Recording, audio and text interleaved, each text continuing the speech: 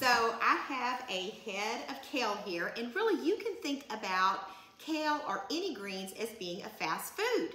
And all you have to do is slice this up. Today I'm using a leek. You can use an onion if you would like to. Generally about a half an onion works, but I'm gonna use a leek to the white part water, quarter cup of water, a couple of teaspoons of garlic, and then I have some Texas olive oil. So what I like about kale is you can have it in your refrigerator. It actually lasts for a long time.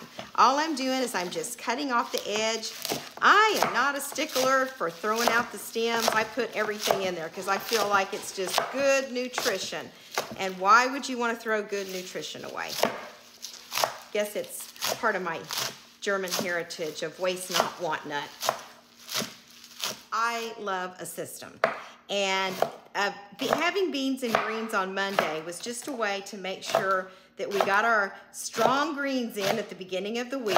And if you make a pot of beans on Monday for your dinner, then it's great because you have it to eat the rest of the week for your lunch. Okay, so all I'm going to do is just throw a little olive oil in here, you know, like tablespoon or two. You really can't put too much. And then we're going to add the garlic. It's about two teaspoons of garlic. Or if you want to add more, I'm kind of of the mindset you can't have too much garlic. And then here's the leeks. And then we're going to saute this for just about two minutes, two to three minutes.